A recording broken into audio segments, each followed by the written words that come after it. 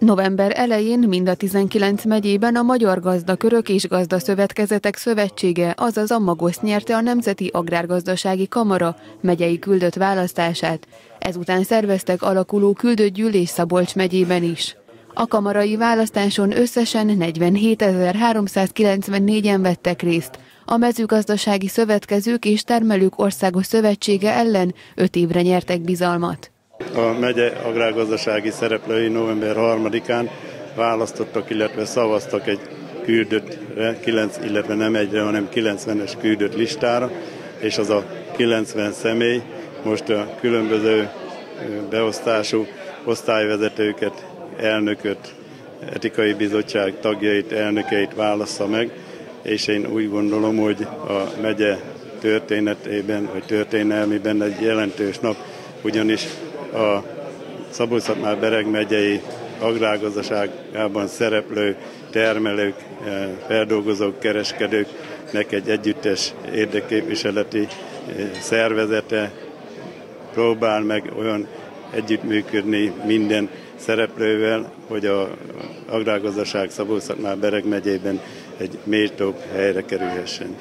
A küldött gyűlésen ismét Rácimrét választották a megyei szervezet elnökévé a következő öt éves ciklusra. A szabolcs merbereg megyei közgyűlés elnöke a rendezvényen kiemelte, itt működik a legnagyobb tagsággal a kamara, ezért is kiemelten fontos, hogy kik képviselik a szervezetet.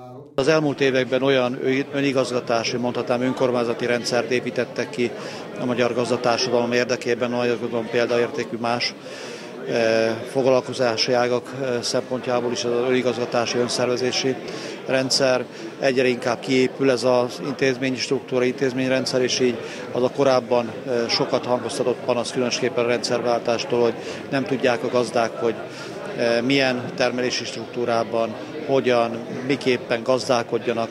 Ez a kamarai rendszer nagyfokú segítséget ad így a gazdatársadalomnak. A mezőgazdaság szereplőinek nagy segítség minden évben az agrártámogatás. Az idei egységes terület alapú támogatás keretösszege 227,8 milliárd forint.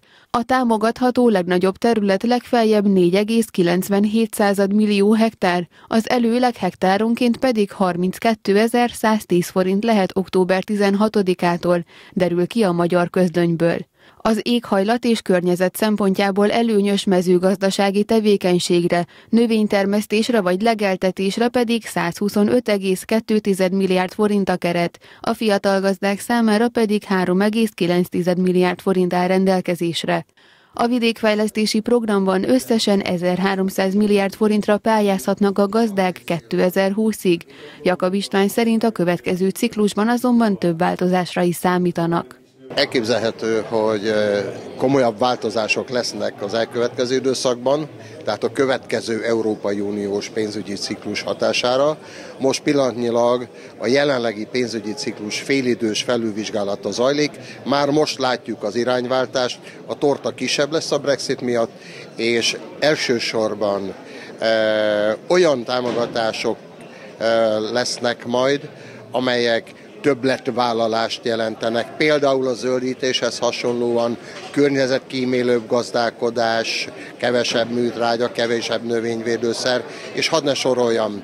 A lényeg az, hogy az adminisztráció várhatóan nem csökken, hanem meggyőződésem, ha igénybe akarja venni a forrásokat a gazda, akkor ezáltal nő. Az egységes kérelem alapján történő terület alapú támogatások mértéke évente eléri a 600 milliárd forintot, a jövőben ez is változhat, tette hozzá Jakab István Nyíregyházán.